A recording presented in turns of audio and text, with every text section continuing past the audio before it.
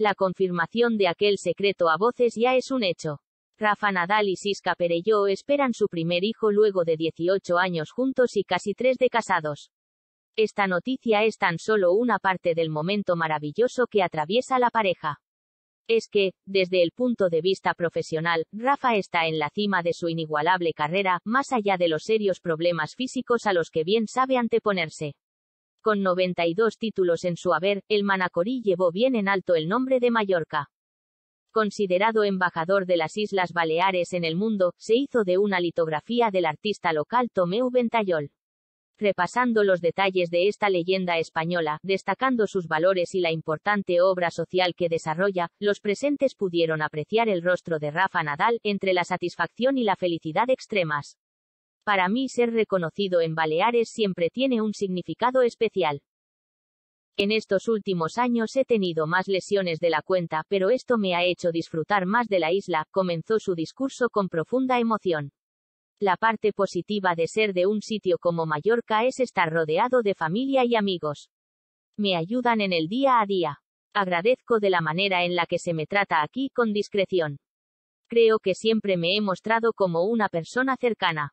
Es una de las cosas que me hace llevar una vida plena y feliz. Si bien no es muy afín a todo lo multitudinario, el tenista reconoció estar muy agradecido por el acto en su honor. Un evento que se desarrolla en el marco de los días que se tomó junto a Siska Perelló para descansar y compartir tiempo de calidad juntos.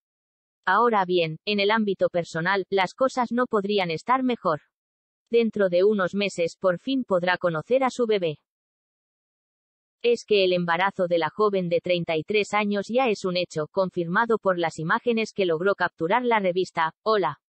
Se trata de un suceso que, como supo admitir públicamente, el deportista soñaba hace años y que hoy se ha hecho realidad. Si vienen niños, habrá un cambio. Es algo que probablemente sucederá, porque ambos lo queremos, anticipaba hace meses Rafa Nadal. Me encantan los niños.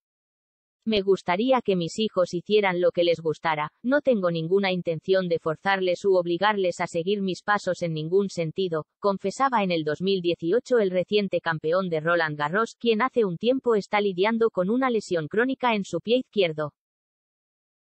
Incluso, hace muy poco tiempo, Rafa Nadal y Andy Murray bromeaban en torno a los diversos percances que atraviesan los padres primerizos al inmiscuirse en este nuevo mundillo que es toda una aventura. En una desopilante nota, dejaba en claro que conoce muy bien lo que implica la paternidad y que le encanta. Estoy deseando que me despierte a las 6 de la madrugada. Espero estar en esa situación dentro de no mucho tiempo, adelantaba sus planes el dirigido por Carlos Moya. Hoy su rostro no hizo más que reflejar este nuevo gran triunfo fuera de la cancha.